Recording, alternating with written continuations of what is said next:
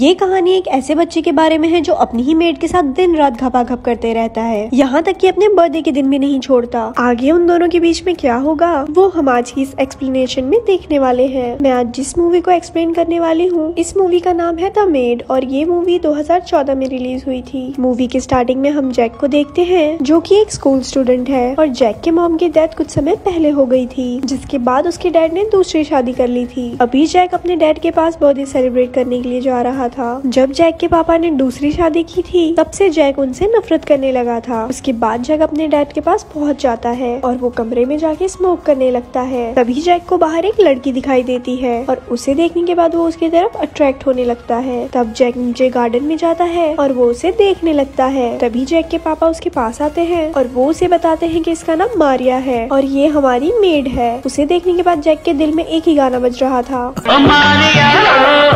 इसके बाद जैक के डैड मारिया और जैक को एक दूसरे से मिलवाते हैं। अगले दिन जैक अपना कैमरा लेके फ़ोटो खींचने के लिए बाहर निकल जाता है। इसी दौरान जैक के पास एक खूबसूरत सी लड़की आती है और वो जैक से मज़े लेने लगती है। पर जैक उस पर ज़्यादा इंटरेस्ट नहीं दिखाता। तभी वहाँ से मारिया गुजरती है और जैक अपना पूरा इंटरेस्ट उस पर दिखाता है। घर आने पर मारिया जैक को बोलती है की तुम्हें कुछ और समय उस लड़की के साथ बिताना चाहिए था। लेकिन जैक के मन में तो कुछ और ही चल रहा था। जैक मारिया से बोलता है की तुम बिल्कुल मेरी मोम की तरह हो। और उसके बाद जैक उसे अपनी मोम की फ़ोटो दिखाता है। ये देखने के बाद मारिया उसे अपने बारे में बताती है और वो उसे बताती है कि वो बहुत कम उम्र में पेट से हो गई थी, पर मेरे बॉयफ्रेंड ने भी मेरा साथ नहीं दिया और उसके बाद उसने मुझे छोड़ दिया था और उसके पैदा होने के कुछ दिन बाद ही मेरे बच्चे की डेथ हो गई थी। ये सब बातें होने के बाद ये दोनों एक दूसरे से काफ़ी ज़्यादा खुल मिल जाते हैं। तभी यहाँ से सीन स्विफ्ट होता है और हम जैक के डैड को देखते हैं और वो जैक को बताते हैं कि मैं अभी बहुत ज़्यादा बिज़ी चल रहा हूँ, जिस वजह से मैं तुम्हें ज़्यादा टाइम नहीं दे पा रहा हूँ। पर इस बात पे जैक अपने डैड से लड़ने लगता है। अगले दिन जैक के डैड उसे बताते हैं कि मैं किसी काम से बाहर जा रहा हूँ, जिसकी वजह से घर में सिर्फ़ मारिया और जैक बचे थे। रात को सोते वक्त जैक मारिया की फ़ोटोज़ देखकर अपने पप्पू को मसाज दे रहा होता है। अगले दिन मारिया का एक्स हस्बैंड उसके पास आके बोलता है कि मैं फिर से तुम्हारे साथ रहना चाहता हूँ, और अगर हम चाहे तो हम अपनी ज़िंदगी की एक नई शुरुआत कर सकते हैं। लेकिन मारिया उसे कहती है,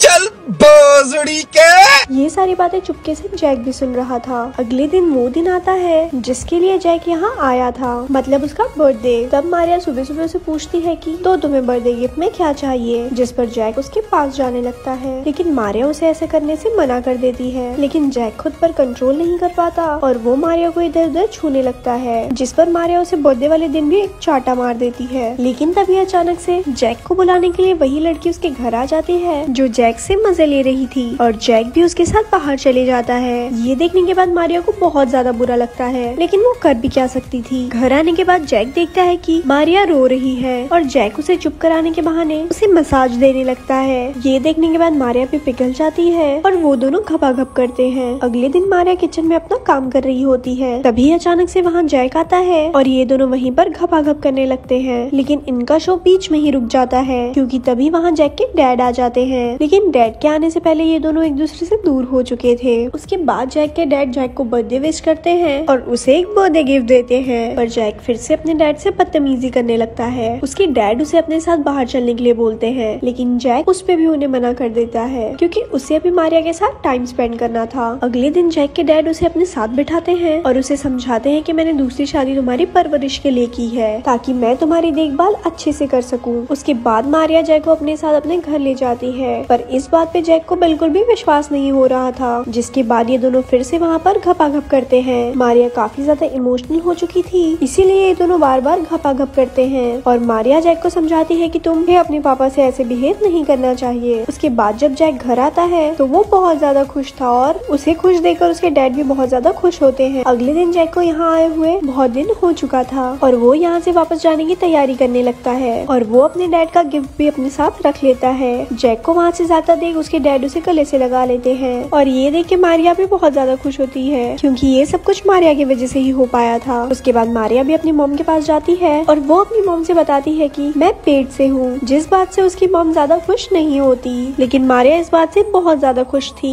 और मारिया के पेट में जैक का ही बच्चा था। और इसके बाद ये मूवी यहीं पर खत्म हो जाती है। ऐसे ही और स्टोरी सुनने के लिए हमारे पेज को लाइक करें। धन्यवाद।